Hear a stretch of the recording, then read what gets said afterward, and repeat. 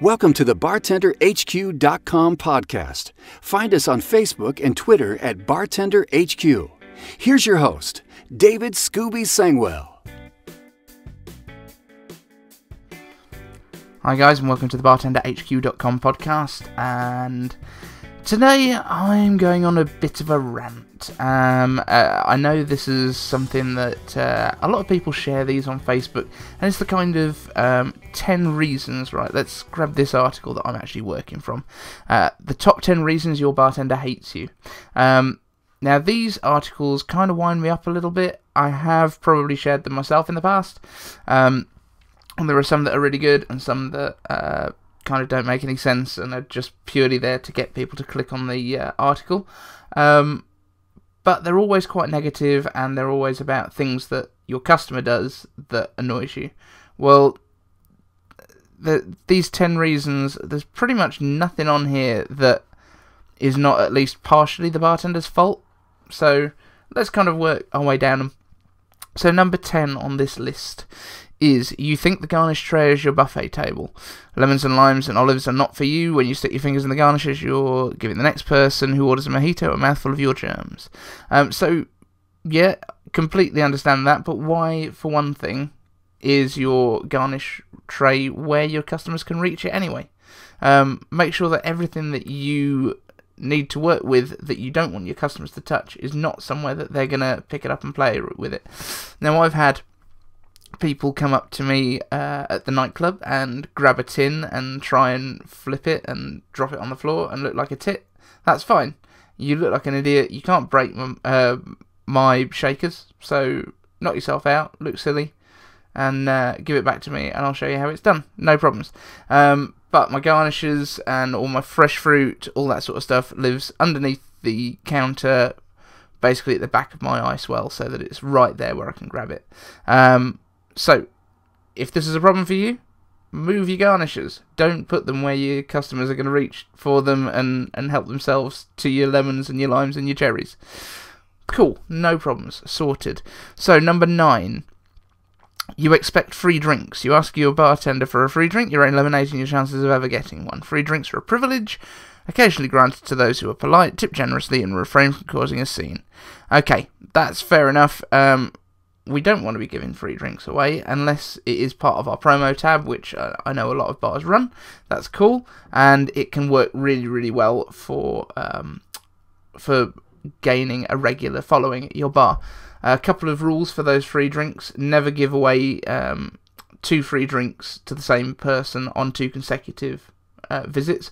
So if they come in, um, if they come in every couple of days make sure the first day they come in, if they get a free drink that day, they don't get one the next visit, but they can have one the one after, and they can't have one. So alternate so that they don't think to themselves, I get a free drink every time I come in. Second one, never give anyone their first drink free, uh, because then there's no incentive for them to stay and purchase more drinks. If they're sat there for two or three beers, and you offer them their second one or their third one free if they're a regular customer and if it makes sense and if you've got permission to do it from your bar manager, um, then that makes sense. But don't do it just straight off the bat and, uh, oh, do you want a drink?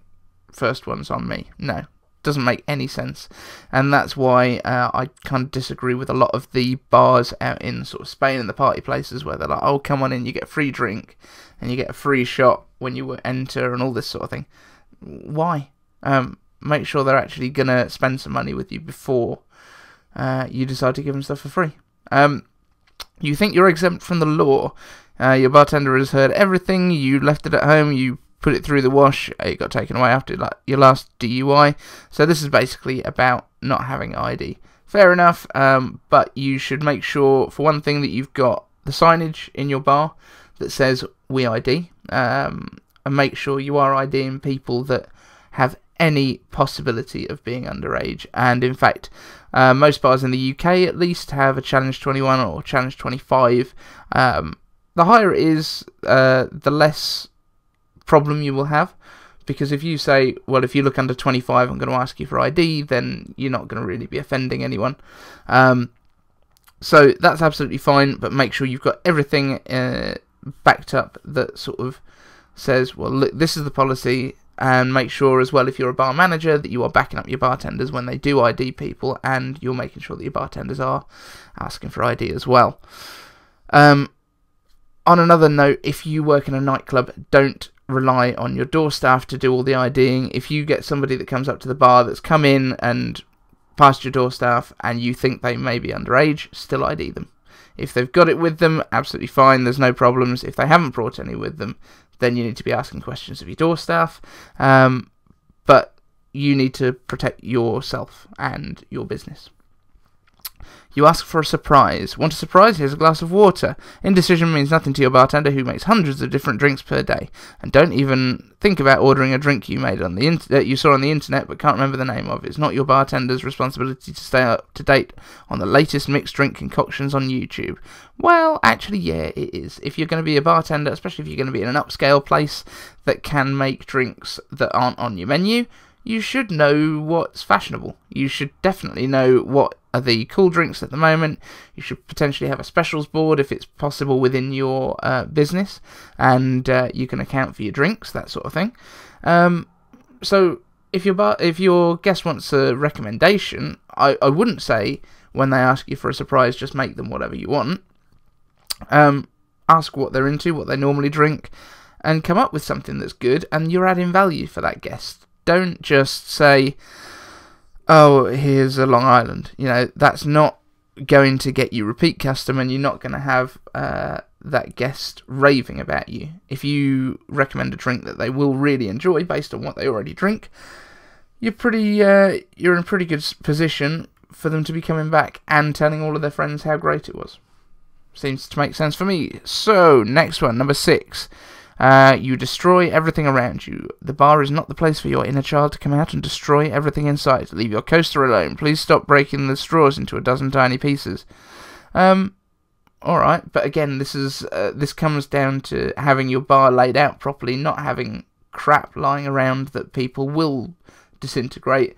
I mean, if you're using the paper like beer coasters, I think you probably need to um, have a look at that again. I mean, they're probably like brewery owned ones, that sort of thing. You will find them in pubs, but if you're in a decent cocktail bar, you're either going to have uh, a paper napkin or you're going to have, uh, in the real upscale places, cloth napkins, um, that sort of thing that you're putting your drinks down on. Those can't be destroyed. Um, you will get people that will immediately pull the straw out of their drink and just leave it on the side. That's fine. Just make sure you're cleaning your bar top up. But if you're leaving crap all over your bar top, don't be surprised. Uh, and flyers and everything else. Keep your bar top clean. Keep it clear. This is a place to present drinks and to enjoy them, not to be bombarded with loads of little bits of crap that are lying around the bar. Uh, and if they then do pull them to bits or draw on them or whatever, it's your own fault. No problems. Um, you attempt to push in the front of the line. Your bartender notices who arrives first at the bar. Flashing money, waving, or snapping won't make her serve you any faster. Um, well, this is uh, all well and good as long as you have got a bartender that is paying attention to who's arriving first at the bar. Um, it's something that every bartender should be doing and should be very good at, but it doesn't necessarily mean that that happens everywhere. Um, so, if you've got people that are shouting, as long as you do know who is first, brilliant. Tell them, no, I'm just looking after these guys, and then I'll be with you. Even better, if you're multi serving, and you can check out my article on Bartender HQ, which is called uh, Six Steps to Becoming a Multi Serving Jedi, um, you'll be able to take their order as soon as they get up to that bar anyway. You're not going to be waiting until you finish serving this guest. You take their order, make their drinks, give them their drinks, ring it up, move on to the next one, take the order, make the drinks, ring it up. No, you, what you want to be doing is taking as many orders as you possibly can because you'll find that certain drinks are duplicated. You can make two of the same drink in the shaker or in a blender, even better because blended drinks take forever. And uh, if you can double up in the blender, they actually blend better as well. Um, so make sure you're multi serving. You haven't got to worry about these guys trying to push in. Uh, and obviously keep your head up when you're serving as well, so you do know exactly what order people walked into your bar. Uh, number four, you complain that the bartender is making your drink wrong. Well, if uh, if you have a set recipe in your bar, that's absolutely fine, and uh, that's cool. But if your guest wants it a specific way, and you know, especially if you know that this is a guest that likes their drinks in a specific way, make sure you're checking with them exactly what kind of drink they want. If they order, for example, a Manhattan, uh, and you make a dry Manhattan, they wanted a sweet or a perfect Manhattan, you haven't made their drink wrong. Uh, well, you've made their drink wrong, but it's not their fault. You didn't check what they were actually after, what drink they were expecting.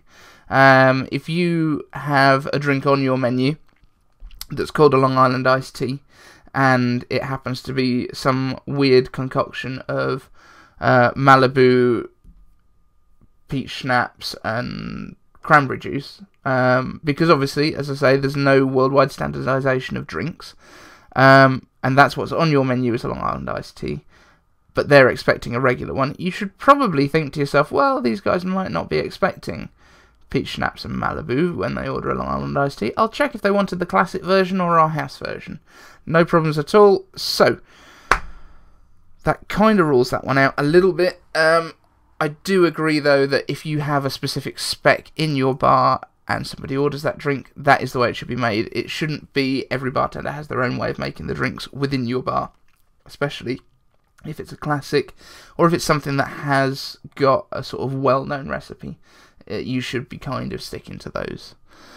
Um, you demand, this is number three, you demand an extra strong drink. No duh, you want your drink extra strong. You didn't come to the bar to read the Bible, you came to get drunk. Okay, well, if you have that kind of guest coming in, you quite possibly um, are either working in the wrong kind of bar because it is the kind of place that people are going to get drunk rather than to enjoy a drink and socialise. Um, that's one thing, but there are those bars out there. Um, but looking knowledgeable, making sure that you uh, completely come across as somebody that knows exactly what they're doing, um, is the main way to sort of combat this. When I free pour in the UK, which is not something that happens in the majority of bars, it does in good cocktail bars, um, and obviously nowadays, especially the mixology type bars, are going back to a lot of jigger pouring as well.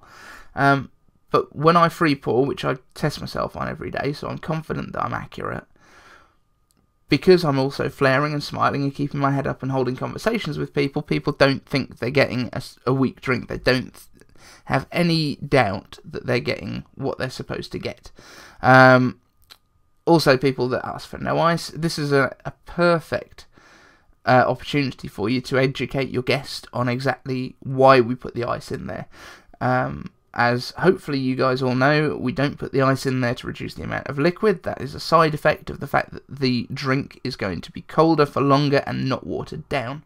If you put a small amount of ice in that drink, you will see how quickly it disappears, and that is then water that is watering down a fairly cool drink rather than an ice cold drink, which is how we want them to be consumed. Um, with a good amount of ice in there, large surface area on the ice, um, and the ice touching each other to avoid that dilution overdoing it. So, if you got people asking for an extra strong drink, you can always do it. You can always offer the extra shot, but say that you will need to charge them. Uh, you are wasted. We're not sure if you noticed this, but you got trashed. You just kicked a chair, grabbed a girl's ass, and knocked over an entire tray of drinks in one fell swoop. Um, okay, so this is basically about people uh, who complain when they get cut off. But as I explained in the Q and A um, episode that we did a, a couple of weeks back, you shouldn't be letting people get to that point anyway. You should be managing their drinking because if you were a bartender as opposed to a member of bar staff who is just there to purely make drinks and uh, go home, if you're a bartender, your job is to look after those people at your bar. And you're not looking after them if you let them get so drunk that they're going to be falling over and they become a danger to themselves and others. So just purely make sure you are looking after them, make sure that they have uh, water, by the side of them. This is a beautiful thing that came up in one of the bar rescues a little while ago that I was watching, where they were um, they were told by the team you need to give water to every one of your guests with their drinks, um, and it doesn't stop them getting drunk. Uh, they will still get basically they'll still enjoy themselves, but they'll be able to drink over a much longer period. They won't get dehydrated and they won't get falling over drunk. They will be happy drunk and they will be having a good time. So make sure you're offering water to your guests, that kind of thing, and you will pretty much avoid having wasted people knocking around your bar. And you try to get personal. This is the number one, apparently. Don't tell your bartender to smile. Don't ask if she has kids. Whether this is her full time job or, no, uh, or not is none of your business. Your bartender is all for being cordial, but customers are quick to cross the line. Your bartender is here to take your order, make your drink, and take your money. Um, well, okay, but surely a big aspect of being a bartender is the social side of it and um, being somebody that your customers want to hang out with. That is why they're going to come to the bar rather than buying a six pack and sitting at home. So, if you don't want to chat and you're not the kind of person that's social, then either work out with your boss a way that you can work the service bar, so you are literally just uh, interacting with the waiters and making drinks for the tables. Um, then you won't have to talk to people, you won't have to um, interact with your customers. But if you want to be a good bartender, you want to make good money, and you want to uh, become a legend in your town so that guests keep coming back and asking for you, you've got to chat to them yeah, you don't have to be um, you don't have to be spilling the the complete life story and all of your woes and your troubles and whatever else. Uh, you can create a character. You can be whoever you want to be behind the bar. You don't have to be yourself if you don't want to be. Um, but to say that people asking you about yourself and that sort of thing is a problem, I don't get it. Uh, I don't see that that would be a problem for pretty much any bartender that I know, especially the ones that think of themselves as bartenders as opposed to bar staff. And this is a big, big difference in the UK at least. Uh, I know in the States, bartender is pretty much the generic term. But in the UK, if you think of yourself as a bartender, you are someone that's proud of your job, and this is what you do. Um, so, you know, that's 10 things that your bartender hates about you uh, that I found online, and there's a lot of these that go around. Um, I did write a similar article myself, which was uh, 10 ways to get served faster at the bar, and it's more positives. It's things that you can do to get noticed quicker, to um, keep the bartender on your side, and and to make sure that you are being a good customer as much as anything else. Um, you can find that on the bartenderhq.com website as well and have a read of it. Uh, one more that comes up in a lot of these articles, it's not in this particular one, but I want to mention it, and it is uh, ordering mojitos. Um, for some reason, bartenders hate making mojitos, according to the internet. Now, I was never keen on it when I was at TGI Fridays, uh, and I'll tell you exactly why. The bar was not set up for it we were never because it wasn't a hugely popular drink at the time. The bar was set up for maybe doing five or six mojitos a night. Uh, it's become a lot more popular since then, and I think it's probably peaked and it's on its way back down again now because other stuff is coming back into vogue. Um, but if you have a bar where you sell a lot of mojitos, why would you hate making mojitos? All you need to do is look at your bar and think to yourself, right, we make a lot of mojitos, let's make it easier to make mojitos. So make sure you've got all of your limes prepped, all of your mint prepped, all of your sugar syrup or um, sugar cubes or whatever kind of sugar you're using in your particular mojitos. I personally think sugar syrup works the best. Um, but I mean, here's a here's a quick story. One night in Dubai, I think we served 147 mojitos to one party, and that was uh, a private party that one of the sheikhs had organised, uh, where the majority of the guests actually parachuted into the bar.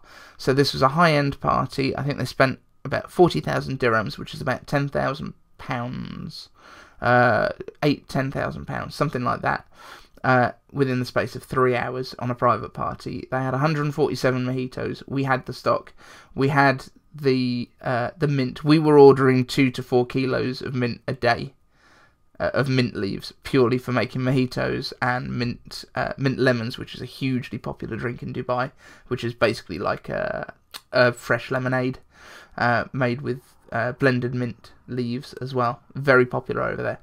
So if you have one of these drinks, or the other one that always comes up is uh, ordering in dribs and drabs. So if you're um, if you're placing an order, make sure you know your order before you come up to the bar. That does make sense. Um, there's also a lot of bartenders that will listen to the first couple of items that they say, and then go off and make them, and then come back and then be annoyed that they've got other items that they want to order. If you take their order and say, "Is that everything?" then you're going to get that whole order in one place, and you're not going to have that issue that annoys bartenders. So that's that's the kind of uh, crux of this podcast. Actually, is all of these things that the internet says we hate. They're pretty much all our own fault. Um, so look at the things that really wind you up. In fact, if uh, if these aren't covering the stuff that winds you up at work, write down a list of the things that really annoy you, and then look at them again and say, well, how can I fix that? Because it's not the guest's fault. The guest is there for an experience, and they want a good experience. And it's up to us to fulfill that experience, or somebody else will do it for them. Um, so and if there's anything on your list of things that you hate about your customers that you can't think of, well, this is how I can help, this is how I can reduce this problem, drop me an email, david at bartenderhq.com. I would love to hear from you, and I'd love to hear what it is that we can't fix ourselves. Um, that we hate about our customers, apparently. Uh, because if there is something like that and I can't come up with an answer for you, um, I will send you a bar blade. I'll send you a bar blade just as a well done, you beat me. Um, all right, so there's a challenge for you guys. Find something that you really hate about your um, customers, or something that really winds you up that happens in your bar. And if we can't find a solution for it, I will send you a bar blade. Deal. Okay, so drink of the week. Uh, I was working at Reflex in the Arcadian in Birmingham last night, which is the uh, nightclub that I um, help out at. I was supposed to be at a private booking, but unfortunately they cancelled that morning, so I ended up going and helping out at the club. Um, and the club had got a bunch of gingerbread syrup that was from a previous menu item left over, and they were like, "What can we do with this?"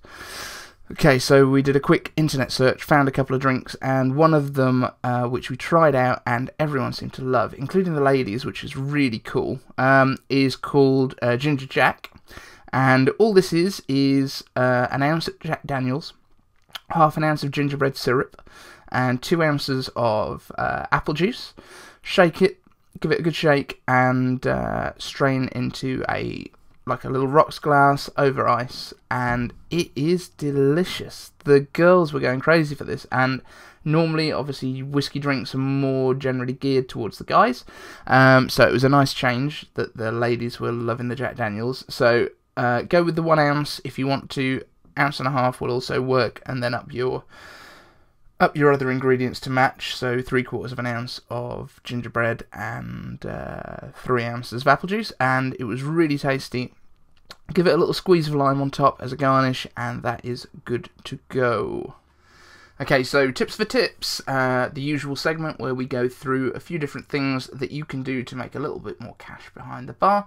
Um, and today's is teamwork. Now, I do recommend, uh, obviously, if you've got a multi space bar uh, with multiple service points, uh, multiple stations, um, that bartenders don't move across between one station and the next, um, because obviously that slows down your service and that sort of thing.